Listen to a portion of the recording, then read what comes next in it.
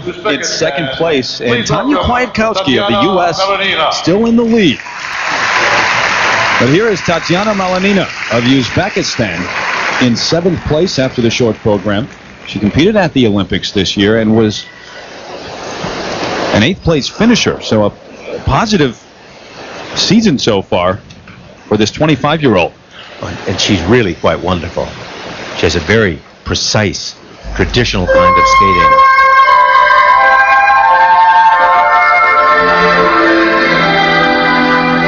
The music, Aladdin by Alan Menken.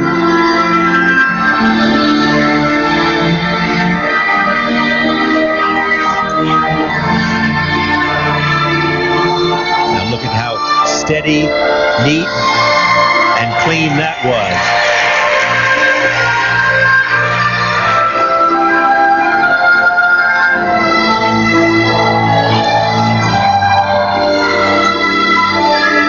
Watch the free leg on this.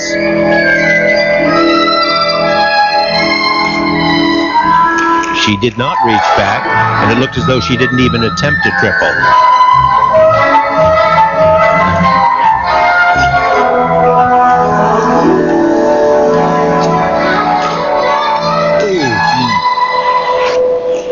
Again, you've got to go back to looking at the entrance of the jump. That will tell you the story of the jump.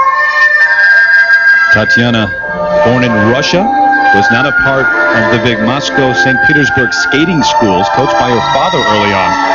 Moved for six years to Uzbekistan and now is back in Russia. And when you look at this competition, this portion, of the 30 skaters involved, seven from former Soviet republics, they're all in the top 13.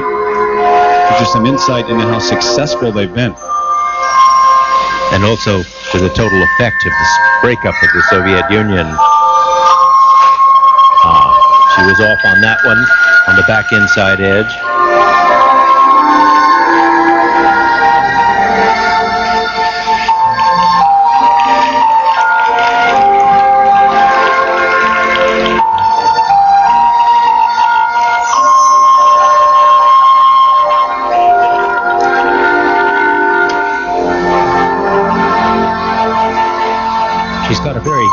Tight physique, and she's slender. She moves beautifully on the ice in a very traditional way.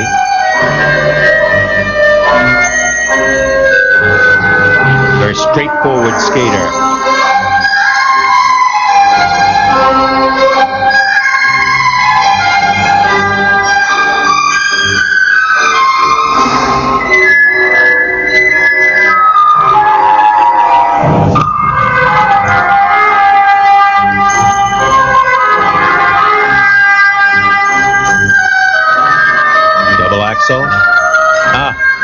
She's singling it out. What is happening to these ladies?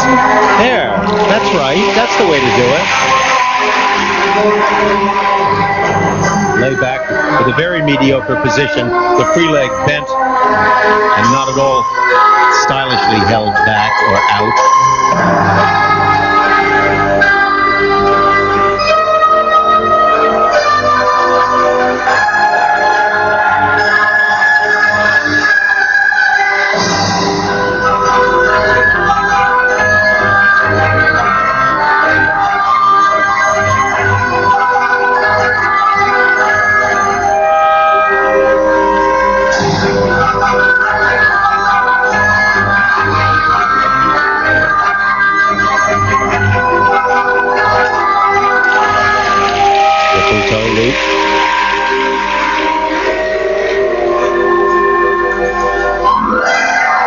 Speed on this.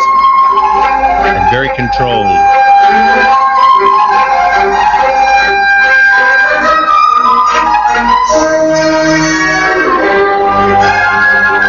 watch the circles in the ice. They're more or less staying in one spot. Now they're traveling.